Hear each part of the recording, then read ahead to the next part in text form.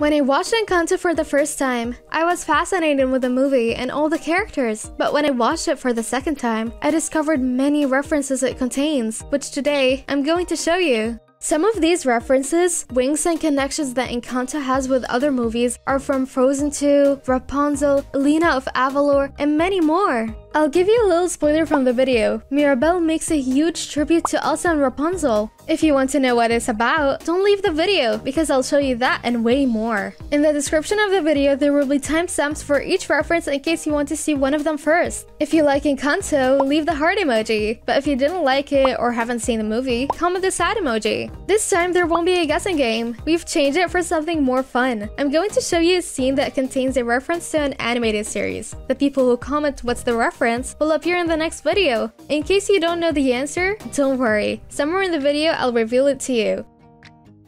One thing that the story of Encanto is based on are the magical doors that each member of the Madrigal family has access to. These magic doors are a big reference to the Pixar movie Monsters Inc. In the City of Monsters, there are magic doors that work as a portal. Because of the character who enters one of these doors, it takes them to an unknown place. We have something similar in Encanto. When a relative Madrigal turns 5 years old, the grandmother accompanies the character to a door where they get to know what kind of power they'll get. The moment the door opens, we get to see a place that's never been seen before. Such place can change depending on the power of the character. Isabel has a kind of power that makes her control flowers at will. Therefore, her room is a place full of beautiful roses. Antonio is another example. He can talk to animals. That's why his room retains a jungle-like appearance in which all his animal friends live with him.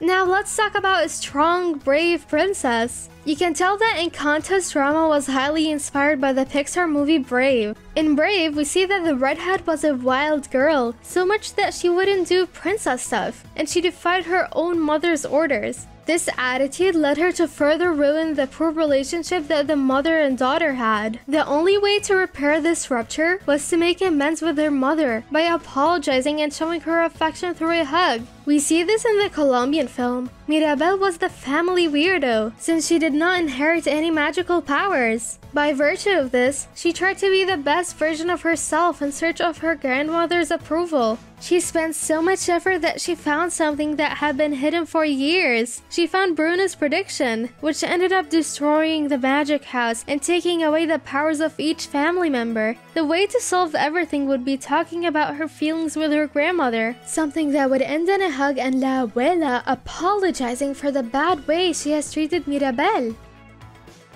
We get to the part where I'm going to show you a scene with a big reference to a series. Watch it and comment what series we see it in. I'll give you a hint to make it easy. It's a famous yellow animated series. Pay attention to the scene and tell me.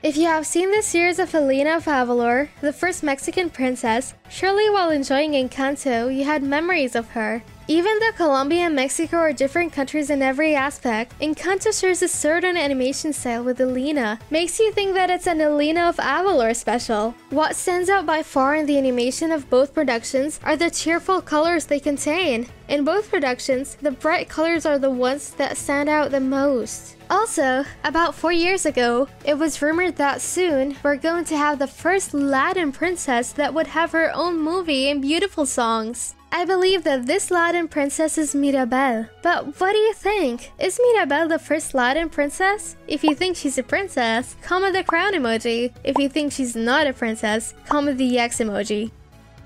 In the scene starring Bruno, we see something that stands out. Yes, he talks to mice! Apart from predicting the future of any character, he also has the ability to communicate with rodents. You could say that they are his best friends, since mice are his entertainment, and supposedly he does not leave that place, and the mice also live there. I'm sure at this point you already know what the wink is all about. That's right, I'm talking about Alfredo Linguini from the Pixar movie Ratatouille. His best friend is the little chef. If it wasn't for him, he wouldn't have been so successful in the kitchen. The little chef has the ability to communicate with Alfredo, a fact that led them both to become best friends.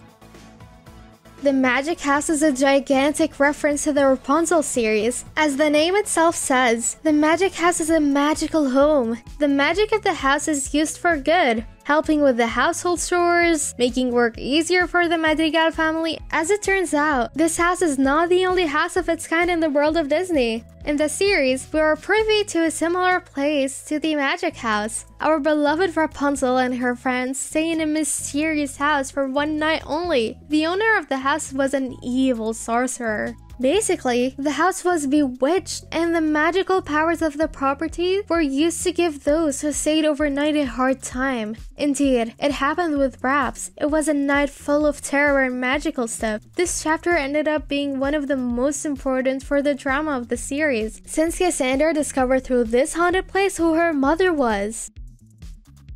The answer to the reference scene you guys were going to find is The Simpsons. In one episode, Ned Flanders loses his house to a tornado, and the neighbors help organize and rebuild his house. It's a similar thing with Encanto, as the town helps rebuild the magic house. In the middle of the film, we witness Mirabel's desire to save the miracle that gave the Madrigal family their powers. She gets courageous and prepares to go to save the miracle. However, the Colombian girl did not know what to do or where to go to achieve her goal. This reminded me of when Mulan wanted to be a soldier to represent her father. The girl got ready and left the house, but further down the road, she felt lost since she didn't know what to do. Luckily, she had Mushu, who helped her realize her purpose. The part where Mirabel sings Waiting on a Miracle contains a nod to the Frozen 2 and Tangled movies. During the performance of the melody, we hear and appreciate interesting things. When Mirabel was releasing her feelings through the song, we observe an animation quite similar to Tangled and Frozen. The aforementioned scene is seen with multiple glowing particles all over Mirabel's path. It's the same thing that we have in Tangled. Rapunzel and Eugene were on a boat and floating lanterns were falling from the sky, which illuminated the dark night. Overall, it's a scene with a lot of glowing particles. In Frozen 2, there's a similar scene. When the goddess Elsa sings Into the Unknown, multiple glowing particles appear, which would be crucial for Elsa and Anna's adventure. In short, all three scenes are full of glowing particles while singing.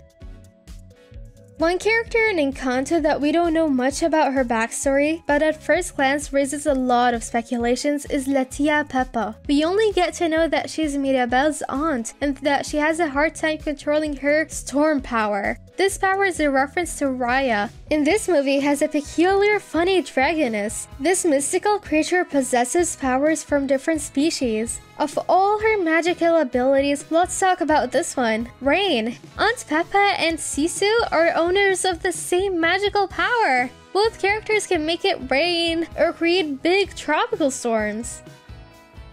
Well, that's as far as it goes. Greetings to the answers from the previous video. My name is Bella, and we'll hear from each other soon in another video. And bye!